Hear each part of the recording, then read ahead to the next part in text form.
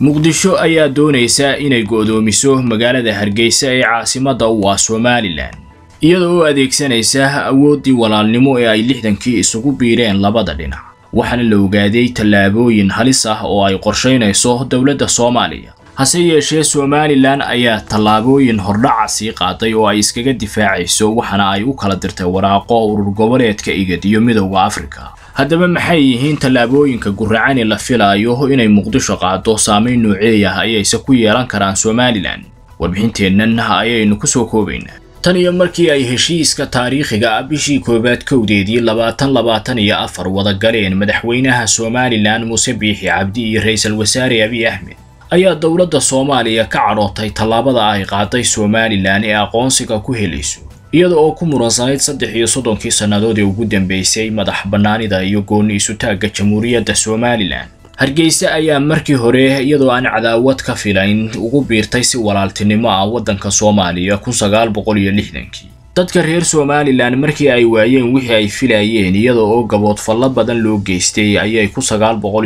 sagaashankii madax bannaanidooda la soo noqdeen intaasina waxaa socday tallaabooyin guracan oo ay ku kacayaan siyaasiyiinta isaga dambeeyey maamulka waddanka soomaaliya. Waxaana ay qaadayeen tallaabooyin lagu godoominayo amase lagu cunuqabataynayo shacabka somalilan. Iyadoo ay weli sii socdaan falalkii guracnaa ee ka dhanka ahaa madax bannaanida somalilan. Xukuumadda uu hogaamiyo madaxweyne xasan sheekh maxamuud ayaa waxa ay qorshaynaysaa tallaabo kasta oo ay isku hortaagi karto heshiiska dowladda etoobiya iyo somalilan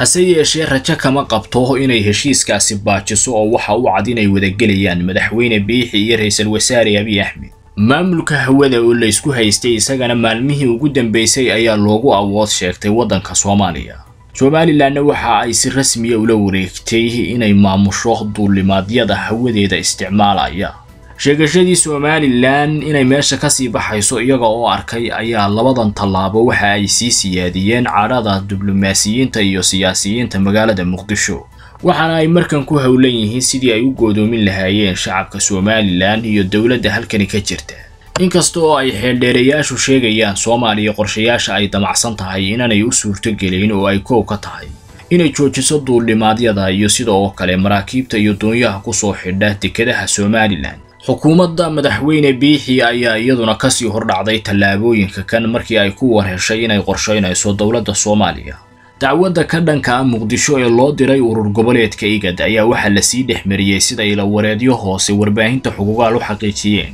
Ra'iisul wasaaraha waddanka itoobiya oo si rasmi ah ugu gudbin doona si ay u gaadho maadaama oo soomaaliya ay ka tahay guddoomiye ku-xigeen taasina ay keeni karto waraaqdaasi inaanay si rasmiya u gaadhin meeshii loo baahna falalka guracani ay xukuumadda madaxweyne xasan sheekh maxamuud ku doonayso inay ugu muranto madax bannaanida jamhuuriyadda somalilan ayaa isa soo taraya. Waxaana ay maalinimo maalinta ay ka dambayso qaadaysaa tallaabooyin guracan oo ka dhan ah nolosha shacabka somalilan. Hase yeeshee tan ayaa horseedi doonta inay isku tiirsanaadaan isku duubnina helaan dadka reer somalilan oo meel uga soo wada jeestaan midnimada dhul ahaaneed iyo difaaca waddankooda oo markan la filaayo inuu aqoonsi caalamiya ka helo waddamo dhowrah oo ay etoobiya ugu horrayso tallaabooyinka guracani ay midnimada ku doonayso xukuumadda xasan sheekh maxamuud ayaa noqonaya kuwo sii kala fogeeya. Labada shacab ee somalilan iyo soomaaliya oo haatan aan isu awood sheegan karin